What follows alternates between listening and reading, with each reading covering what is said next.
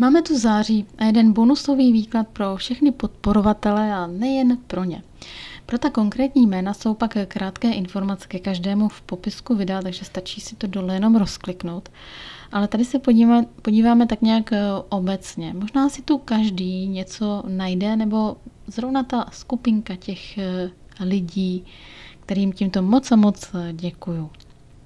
Vyšly mi tu no, ne úplně veselé karty. Jakoby je to září nebo toto období, kdy to video bude vydáno, bylo trošku obtížné v tom, že se špatně orientujeme v budoucnosti, nebo spíše ve všedním dnu, v, té, v tom hledání životní pohody, kterou tam v tom všedním dnu tak nějak nelze moc nalézt, protože všechny ty tři karty jsou s osobami otočenými zády a loučícími se s něčím nebo ve fázi nějakého hledání. Někdo díky tomu hledá něco nového. Nebo řešení jež tuší. Už je netrpělivý a pořád to nejde na svět.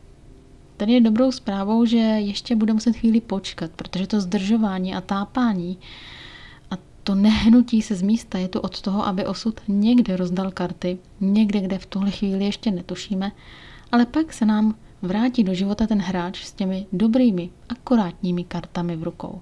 Takže je to na cestě, tam, kde tak už čekáte a ne a ne, tak je to na cestě, ale ještě počkejte.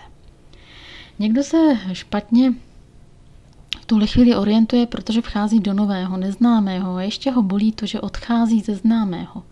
Tady hodně pomůže v posunu a pochopení jak úplně, tak novoluní, to je to zdůrazněné, a přinese vám to dobré, to správné, abyste se cítili dobře, abyste věděli, že jdete po správné cestě. Je tu něco skrytého, co odkryjí tyhle ty, tahle ta dvě období, kolem úplňku a kolem novoluní.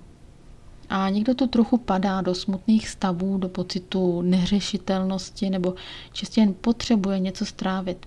Potřebuje čas něco možná odtruchlit nebo naopak si na něco nového zvyknout nebo spíš něčemu vzdát hold. Spíše mi to přijde jako důstojné pozastavení se nad přechodem do jiné životní fáze a vstup do jemnější energie, do moudřejší energie.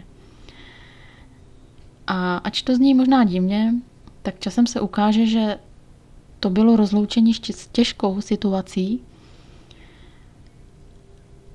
a bylo dobře, protože ta těžká situace nám vlastně bránila v lepším prožití života. No, snad si v tom každý něco málo vybere. Já vám moc a moc děkuju a připomínám, že pro ty konkrétní lidi je to tam dole v tom popisku.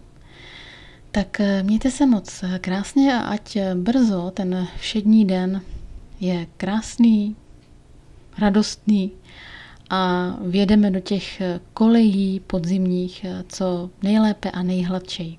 Mějte se moc hezky.